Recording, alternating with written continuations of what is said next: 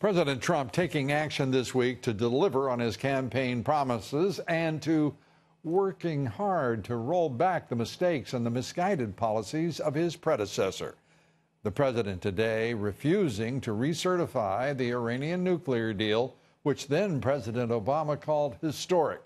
President Trump today warned Republican leaders he will terminate that agreement altogether if McConnell and Ryan fail to restore sanctions against Iran congressional and senatorial ineptitude forcing the president to take action on Obamacare as well. President Trump cutting off billions of dollars of subsidy payments to health insurance companies.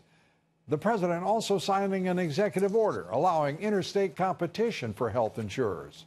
And this week, the president also took action to put his 70 point immigration enforcement plan to work, including demands that must be met if Congress wants a deal of any kind on DACA. And it is clear President Trump means to fix the mess left him by Obama, with or without the help of congressional leaders. He also met with Canadian Prime Minister Trudeau. He nominated a new DHS secretary and campaigned for tax cuts in Pennsylvania. All of this as the Trump economy rolls on. Markets tonight are at record highs. Consumer confidence at the highest level in 13 years. All of this presidential work, all of these presidential actions, threatening the establishment, of course, the swamp.